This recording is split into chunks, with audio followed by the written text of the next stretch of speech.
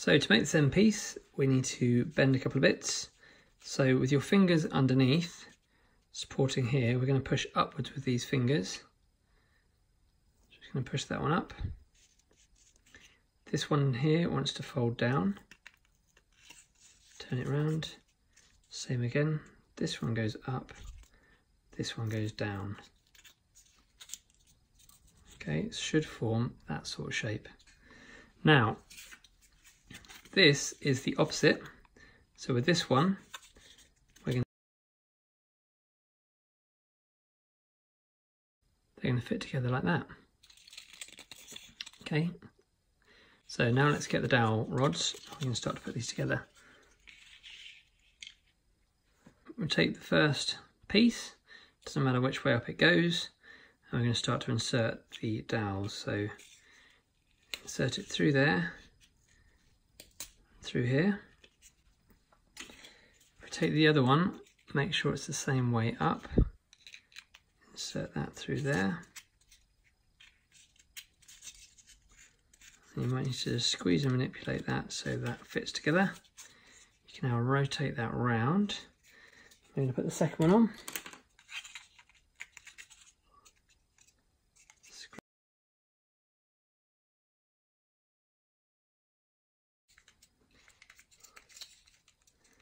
Okay, and now just to support that and hold it together, make it into a little quick release module, we're going to take a rubber band and we're going to wrap it around twice. Like me, you want things to look neat and tidy. Just shimmy those together.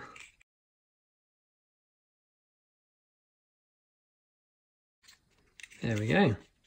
That part's ready to go we now need our linkages and the opposite end all attached together. So let's get that done.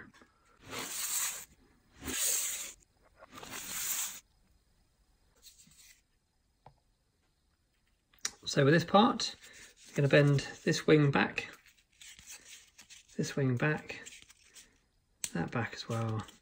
And just be careful when you bend this one back, support it underneath and bend that one back.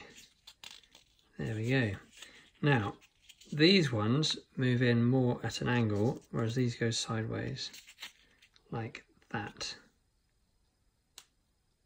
Okay, so now we can start to assemble things. This is very exciting. And take this part here, and we're going to insert it into here.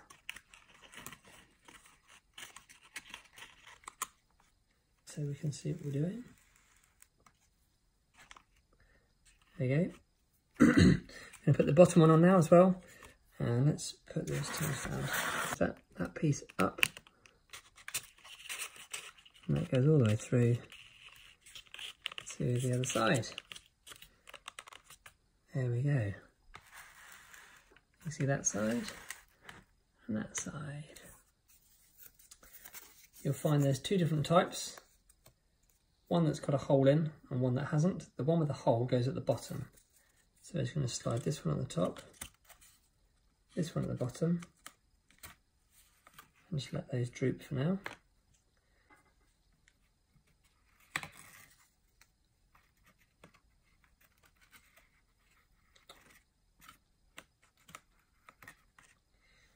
And now it's time to get our syringe full of fibre washers and we start using those. So we'll put them somewhere safe, um, but let's get them out of there. So to do that, we're just going to pull the syringe all the way open.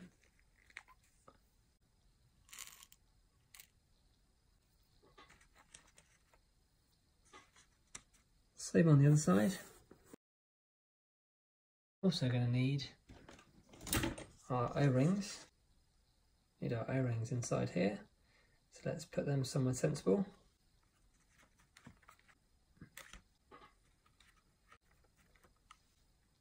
Great.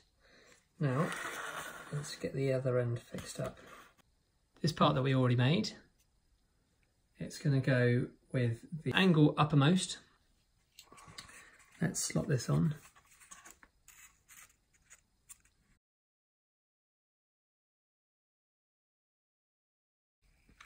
We're going to put fibre washers and O-rings on there too.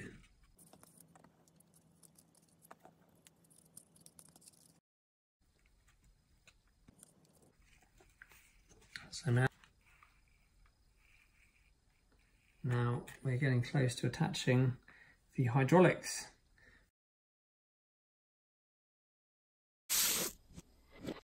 Start making these control arms, there's a lot of folding to do.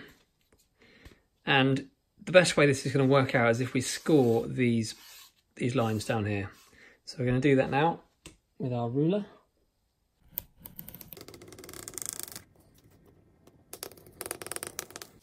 Now we've scored these and we've started to fold the flaps up, what we want to do is fold this end flap onto its next door neighbour. And it's really important, again, to make sure that these holes are lining up. So we're going to start to fold it over. I'm lifting up a little bit, you can see, because I want to squash it down.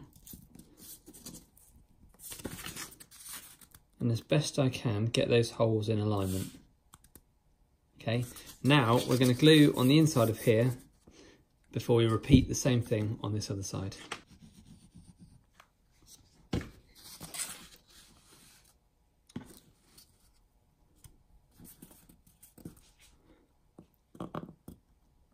And then we're going to go and do this side next. Any extra glue that squidges out the side like this, we're going to want to quickly get that away because when we fold this up, we need that edge to be clear. Okay, it should look something like this now.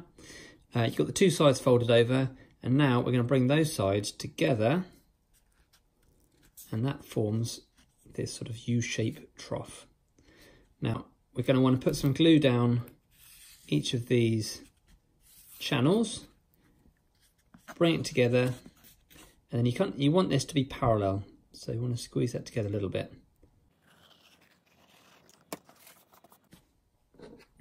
This time it doesn't matter if the glue squidges out um, that can just stay there.